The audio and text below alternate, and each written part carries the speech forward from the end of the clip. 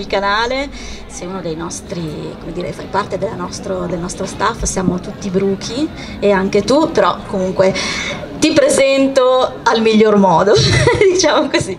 Allora, Lorenzo Vivo Piccinini, laureato in scienze dei beni culturali, musicista, conduttore televisivo, studioso e ricercatore spirituale. La tua frase di oggi, i grandi poteri della storia. Allora, ciao a tutti cari amici.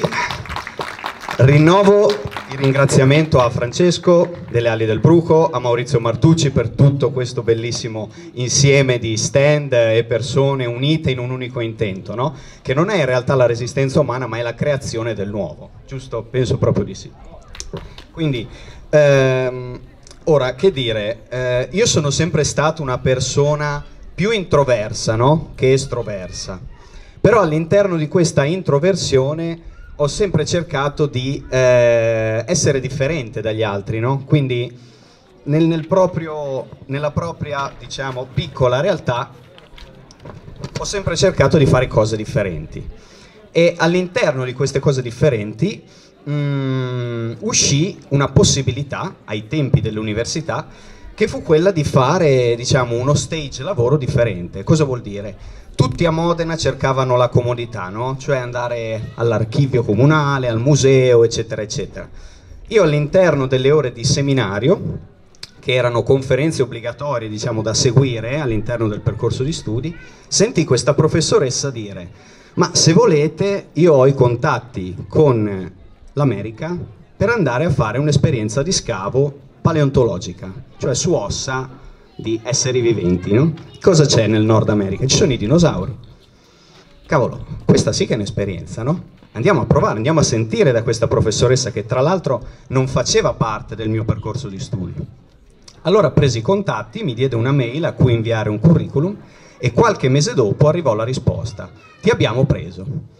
Quindi io sarei andato a effettuare questa campagna di scavi nell'estate del 2007 nel Montana, sotto il Canada, ok? Ossa di dinosauro. Allora mandarono l'elenco di ciò che sarebbe servito no? per vivere questa esperienza e all'interno di questo elenco vi era una cosa chiamata Snake Gators. Cos'è lo Snake Gators? Erano praticamente degli stivali che ti coprivano fino alle ginocchia in modo da non essere morso nella carne viva dal serpente a sonagli. Cavolo, cosa andiamo a fare? Andiamo, Indiana Jones, realizziamo il sogno che avevo da bambino, no? andiamo a vivere un'avventura del genere, incredibile. Allora che prendo l'aereo, arrivai là e mi presentarono subito al chief leader, no? al capo della campagna di scavi, un certo Jack Horner. Questo Jack Horner, io ci feci subito la foto perché adesso vi spiego chi è, eh, era il consulente scientifico di Steven Spielberg per la creazione dei robot, diciamo, di Jurassic Park. Ok? Allora che io feci la foto con questo Jack Horner e eh, dopo la foto, siccome io avevo ancora un inglese molto balbettante, mi fece segno. Vieni di là mi portò davanti a una specie di baracca, immaginate che eravamo nel deserto nel Montana, no? Pieno deserto, un deserto argilloso, El Creek si chiama. Arrivai davanti a questa baracca, lui aprì la porta e io vedi un buco all'interno di questa porta. Lo guardo, ammutolito, lui mi fa segno, come dire, sì, annuisco e poi mi dice, this is our toilet. Dovete sapere che gli americani, oltre che eh, le frasi, si mangiano anche le sillabe, no? This is our toilet. Questo è il nostro bagno. Ah, quindi siamo proprio, no? Liberi come il vento nella natura, bellissimo, bellissimo, fantastico. Allorché sì, furono due mesi e mezzo molto intensi, ogni giorno a scavare, trovammo triceratopi, femori di tirannosauro, io trovai un dente di tirannosauro, bellissimo. E quindi questa fu un'esperienza meravigliosa che però eh, non, non, portò ad una tesi finale, nonostante Jack Horner si propose di farmi da correlatore negli Stati Uniti. Sarebbe stata una ciliegina sulla torta meravigliosa, invece no. Allora che cosa successe? Che eh, venni assunto, diciamo, trovai un lavoro normale come tutti, perché tutti campiamo di un lavoro normalissimo, ma si aprì un'altra possibilità la possibilità di fare qualcosa, esperienziare qualcosa nel mondo della musica. Allorché partecipai a alcuni concorsi e arrivai fino a un talent a Sanremo, al Palafiori, di fianco all'Ariston. E lo vinsi nel 2018. Quindi immaginate no, quanto la Matrix mi aveva fagocitato nel giro di manager eh, babbei che cercano di apparire, eccetera, eccetera. Io riuscii a, a far piacere diciamo, le mie idee perché il primo viaggio che facemmo assieme con la mia compagna Serena fu un viaggio sull'isola di Pasqua e girammo il video musicale di questa canzone proprio lì.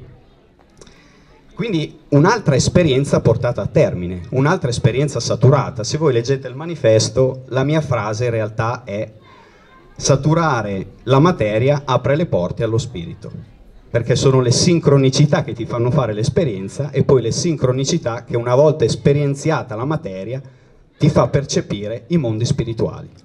E da lì si apre l'universo. Con l'Università di Modena, non ve l'ho detto prima, ehm, feci anche da guida per le scolaresche all'interno di una mostra, all'interno di più mostre, ma una prevalentemente sull'evoluzione dell'uomo. E lì casca l'asino, perché molte cose non tornano. Ed è di questo che vorrei un attimo parlarvi oggi anche in maniera molto divertente, quindi preparate l'addome. Attualmente noi abbiamo eh, il professor Enzo Pennetta, che in compagnia di Massimo Mazzucco, che conoscerete tutti, stanno facendo un ottimo lavoro di divulgazione per quello che riguarda eh, diciamo, il cercare di far capire che il darwinismo non è in realtà quello da cui veniamo. Prima di tutto perché darwinismo è, è, è l'unico diciamo, nome di un ricercatore che hanno fatto finire in ismo, che hanno trasformato in una corrente, no? in un dogma. Non esiste un galileismo, non esiste un newtonismo, no? Però c'è il darwinismo, cioè noi discendiamo dalle scimmie, voi siete scimmie, voi siete bestie, no? la vera frequenza di ciò che ci vogliono dire. E, um, all'interno di questo io mi sono detto, ma aspetta bene, ho fatto da guida alle scolaresche, no? Immaginate le classi di terza, quarta superiore costi giovani con la cannuccia in bocca? Allorché devi inventarti un modo comunicativo per far sì che la tua comunicazione arrivi. E allora ne prendi di bersaglio uno, gli fai delle battute, tutti ridono e ti prendono in affetto. Tant'è che questi ragazzi tornavano addirittura alla mostra, quindi il bersaglio l'avevo centrato. Però Qua bisogna eh, arrivare al punto, cioè questo Darwin, che alla specialistica della mia università addirittura, siccome era l'anno dell'anniversario, eh, ci ha fatto fare addirittura un esame intero su Darwin, ma senza farci leggere né l'origine della specie né l'origine dell'uomo. Cavolo, andiamocelo a leggere, andiamo a sentire che cosa dice, perché quando si ascoltano i divulgatori che dicono Darwin disse, Darwin scrisse, Darwin ipotizzò, ok, ma io voglio leggere le sue parole per cercare di capire e di vedere quello che effettivamente lui pensava nel 1800 quando stendeva quel libro. Allorché ho deciso di riportarvi alcuni passi di Darwin, no? per cercare di capire che quello che dice il professor Pennetta che una legge economica maltusiana è stata fatta diventare legge di natura è vero. Allora, l'origine della specie, 1859. Il dogma di Darwin è la selezione naturale agisce a favore di ogni individuo per il miglioramento della specie. Ora, leggendo Darwin, che sono per l'edizione che ho studiato io 552 pagine, la selezione naturale appare come un demiurgo, no? una deità inferiore che agisce sulle vite degli esseri che calcano il suolo del pianeta Terra. Anche perché Darwin parla molto spesso di creatore, questo termine lo usa tantissime volte. All'interno di questa selezione naturale, quindi, a pagina 408, lui dice la teoria della selezione naturale, attenzione bene eh, perché sarà molto divertente questa cosa, è basata sull'opinione che ogni nuova varietà e in ultima analisi ogni nuova specie si produce e si conserva perché ha qualche vantaggio su quelle con cui entra in concorrenza. La concorrenza, ok? La vita deve essere una competizione, ci dice Darwin. E ne consegue quasi inevitabilmente l'estinzione di forme meno favorite. Ma il dogma è che la selezione naturale agisce a favore di ogni individuo. Quindi com'è che uno vive e l'altro muore? No? Lo stesso accade per le nostre produzioni domestiche e qui va sullo specifico, su ciò che vive, no? nel 1859 uscì l'origine della specie. Infatti quando si è allevata una varietà nuova, allevamenti di piccioni e colombi, lui fa spesso gli esempi, e leggermente migliorata, essa dapprima soppianta le varietà meno perfezionate che si trovano nelle vicinanze. Quando poi è molto perfezionata viene portata lontana e vicino, come il nostro bestiame a corna corte prende il posto di altre razze in altri paesi. Cioè, quindi lui paragona i millenni, ok? I milioni di anni che ci sono voluti all'evoluzione con il suo trasformismo per arrivare alle specie di oggi, lo confronta con le specie di piccioni e colombi incrociate da noi al suo tempo. Qualcosa non calza a livello temporale, giusto? Siete d'accordo? Poi, eh, all'interno dei miei studi, ovviamente alterno libri scientifici, libri ufologici, altro tipo di divulgazione misterica, leggendo Elena Petrovna Blavatsky, trovai un nome. Le, chi si inerpica no, nella lettura di Elena Petrovna Blavatsky troverà una bibliografia straordinaria di quello che è ehm, diciamo una bibliografia di altri personaggi che hanno vissuto la medianità ok? e dopo ci arriviamo perché prima in realtà Darwin dice tanto altro ad esempio una cosa importante che manca e che Darwin ammette è la mancanza di fossili okay? la fossilizzazione è l'1% di quello che in realtà è la vita sulla Terra. Quindi di che cosa stiamo parlando? Quante cose ci mancano? Tantissime, no? A pagina 263 Darwin dice la selezione naturale non può produrre modificazioni in una specie a vantaggio di un'altra specie. Ok? Dogma. Benché nella natura una specie continuamente si avvantaggi e si approfitti della struttura di altre. Cioè, la selezione naturale non può dare vantaggi a qualcuno, però la natura lo fa. È come dire, la dichiarazione internazionale dei diritti dell'uomo impedisce un trattamento sanitario obbligatorio all'individuo a discapito della collettività, ma in realtà l'hanno fatto. Stessa cosa. Okay?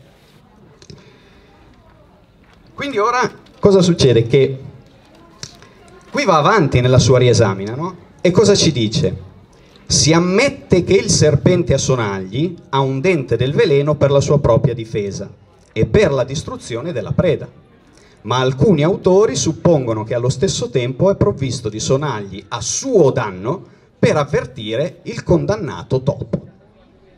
Quindi noi abbiamo un serpente a sonagli evoluto spiritualmente che anziché mangiare suona i suoi sonagli e dice occhio topo, scappa perché a mio danno non ti mangio ok? Perché io sono evoluto, sono un essere evoluto. Immaginate un altro serpente che arriva dal serpente maestro e gli dice: Ma maestro, se lei fa scappare il topo e noi moriamo di fame, eh, in verità ti dico. Non di solo topo vive il serpente, ma di ogni parola che esce dalla bocca di Darwin. Immaginate la scena, no? è abbastanza, abbastanza fuorviante questa cosa. Dopodiché continua. È molto più verosimile che il serpente a sonagli usi il sonaglio, il cobra gonfi il collare e la vipera si rigonfi mentre emette il sibilo così acuto e stridente per spaventare molti uccelli animali che, come è noto, attaccano le specie più velenose.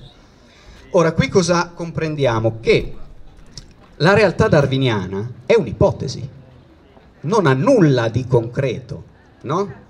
E qua ce lo dice chiaramente. Dopodiché, attenzione bene, a pagina 240 fa il nome di un altro naturalista.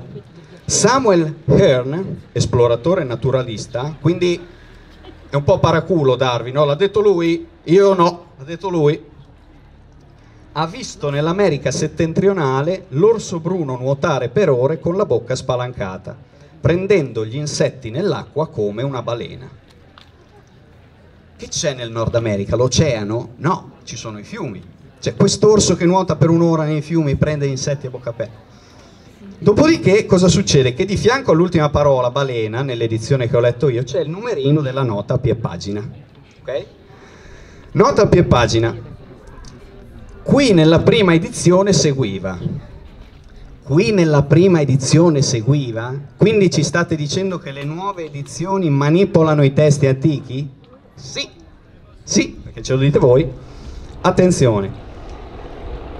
Nella nota a pie pagina nella prima edizione anche in un caso estremo come questo, se la riserva degli insetti fosse costante e se non esistessero nel paese competitori meglio adatti, non vedrei nessuna difficoltà nel fatto che una razza di orsi, per effetto della selezione naturale, potesse diventare sempre più acquatica per strutture e abitudini, con la bocca sempre più larga fino a dar luogo ad un essere mostruoso come una balena.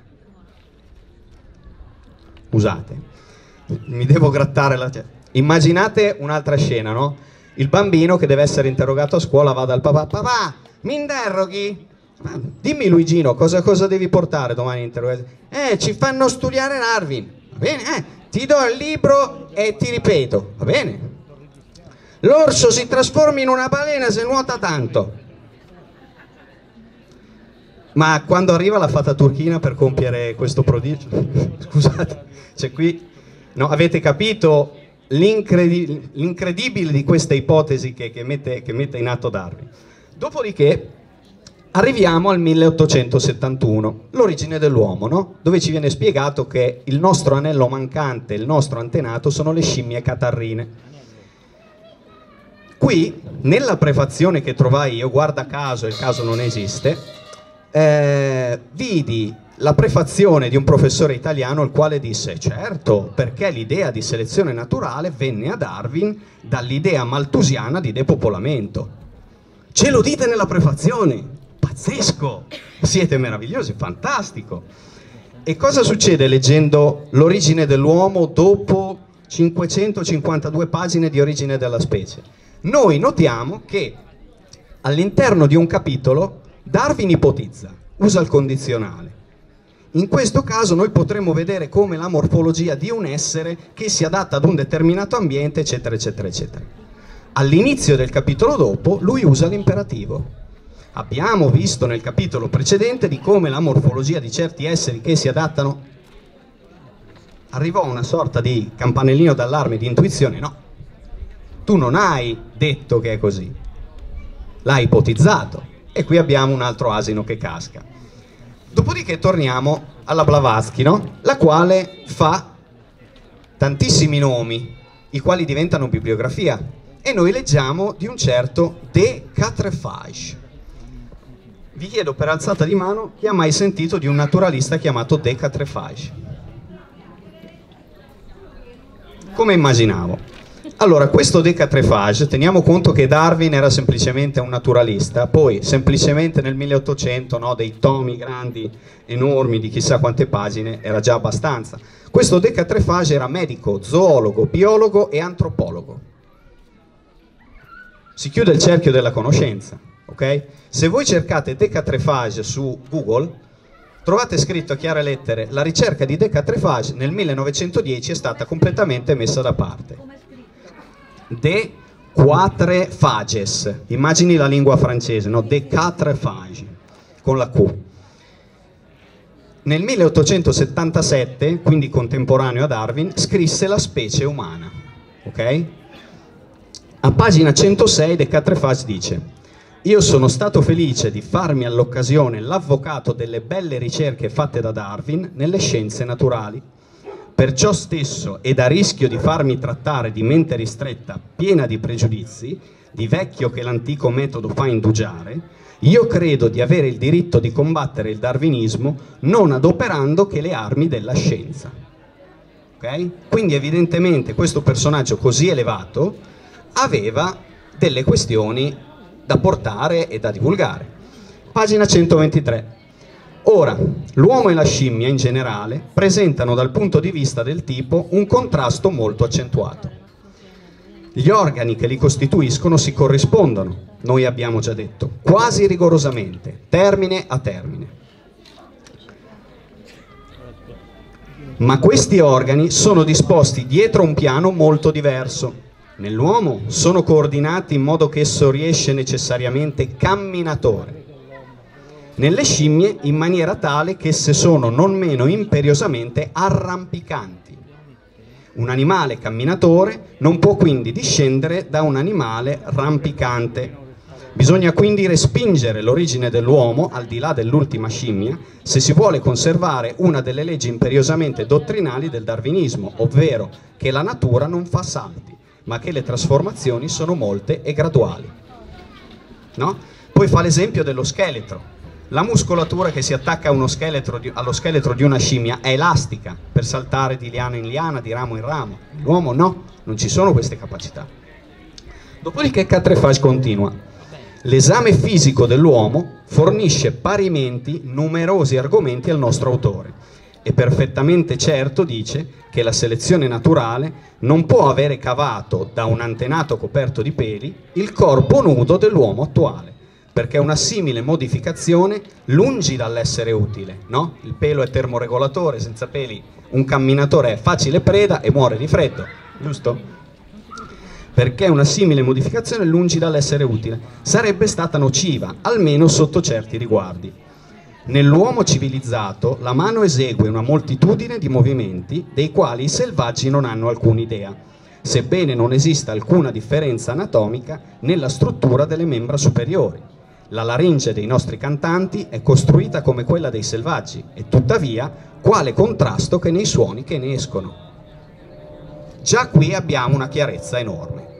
Dopodiché cosa succede? Che la vita mi mette davanti tante questioni e tante possibilità di comprensione. Ho una mia collega eh, al lavoro che è al primo anno di medicina, sta per iniziare il secondo, allorché le chiesi, ma avete mai sentito parlare di un certo catrefagio? Assolutamente no. Avete mai sentito parlare di un altro autore, biologo, eh, antropologo, medico chiamato Jean Rostand? Qualcuno di voi ne ha mai sentito parlare? Jean Rostand? No, perché sono tutti libri vecchi, mai più rieditati. E perché non li rieditano? No? Ora, di Jean Rostand vorrei leggervi una meraviglia legata al concepimento, legato all'inizio della vita, alla fecondazione dello spermatozoo, no? Verso l'ovulo.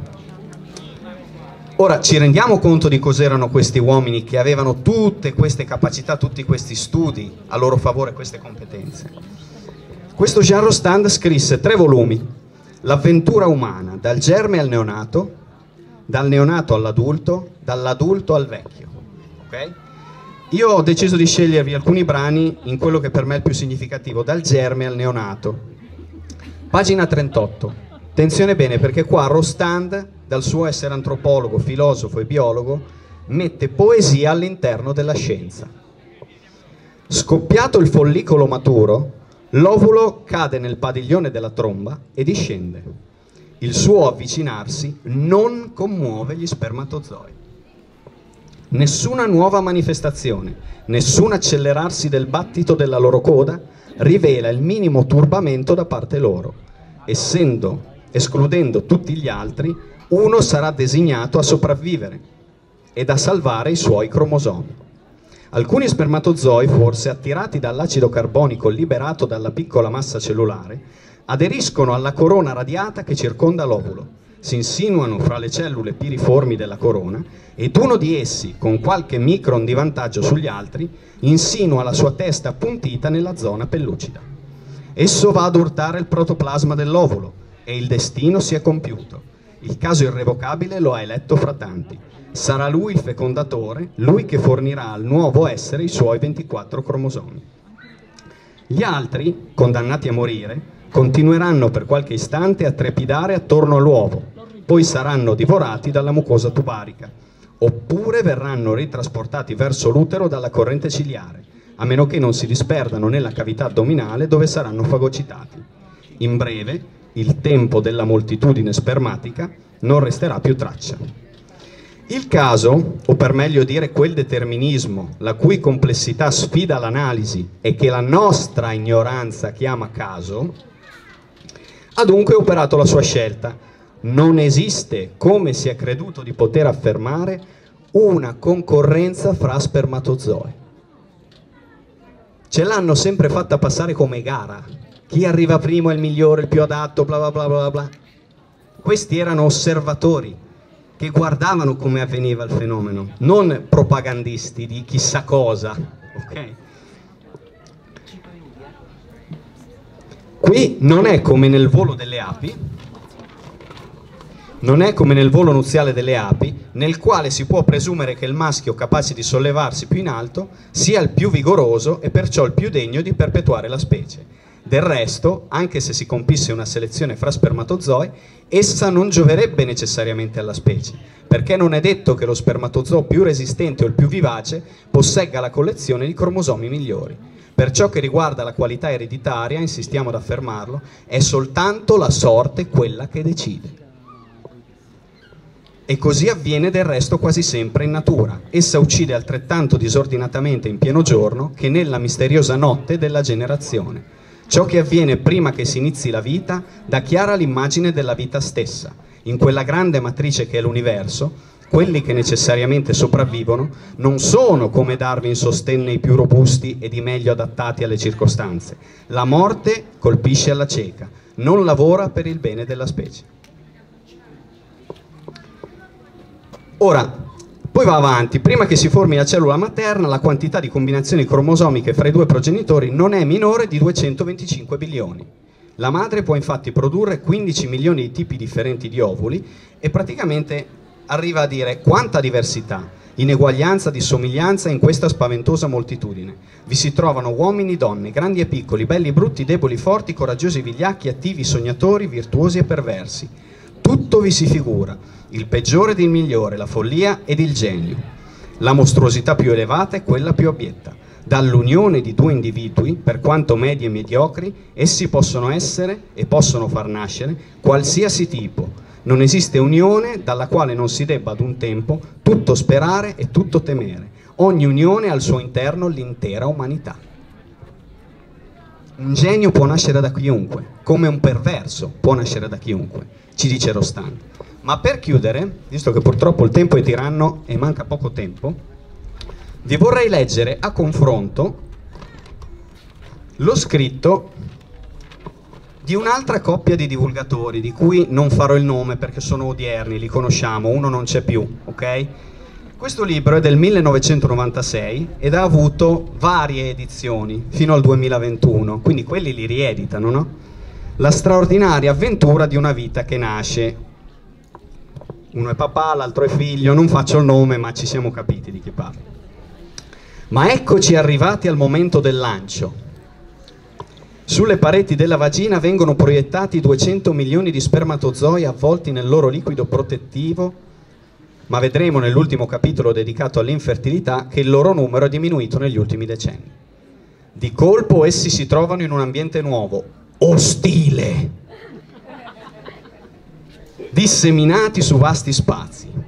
I movimenti dell'orgasmo di coppia li distribuiscono infatti in varie zone della vagina. Gli spermatozoi si muovono, quizzano, agitando la loro coda.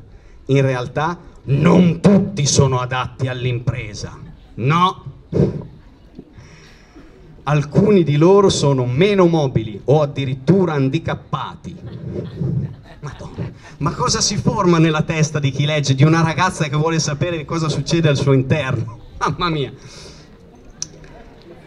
Ma gli altri cominciano presto la risalita, lunga e difficile, verso l'utero e la tuba, un viaggio pieno di pericoli che può durare 12 o 24 ore. Qui nella vagina si verifica la prima ecatombe. Cioè, quindi è una guerra, la creazione della vita è una guerra, di cosa stiamo parlando? Un muco ostile e acido elimina già dalle prime ore la maggior parte dei concorrenti, sicuramente quelli meno dotati, fra parentesi, no?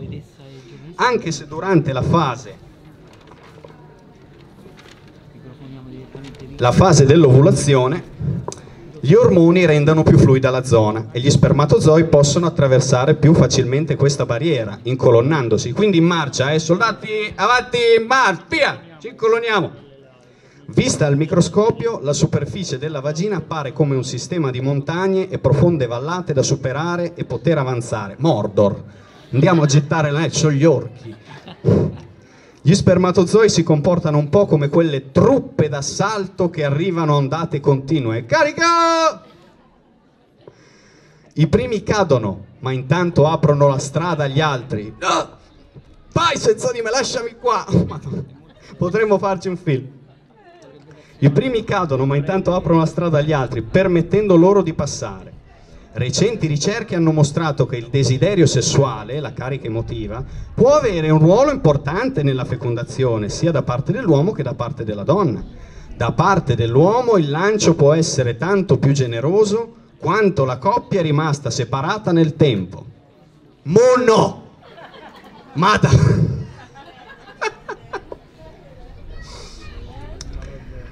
Ma soprattutto da parte della donna un rapporto appassionato può fare la differenza. Infatti solitamente dopo un rapporto un terzo degli spermatozoi viene espulso, a volte vengono espulsi quasi tutti. Ciò dipende anche dalla posizione in cui si trova la vagina. Parentesi, perché le leggi di gravità di Newton valgono ovunque ed in tutte le circostanze, anche in quelle più intime. Immaginatevi la coppia dal consulente coniugale che non riesce a procreare. Te l'avevo detto di studiare la gravitazione universale! Eh, signore, c'ha ragione adesso la sua moglie, c'ha ragione. È per questa ragione che i medici consigliano alle coppie che hanno difficoltà nel procreare per aumentare la possibilità di risalita degli spermatozoi di assumere un'inclinazione particolare. Quindi dobbiamo andare dal medico se non ce la facciamo. Ci consigliano la posizione.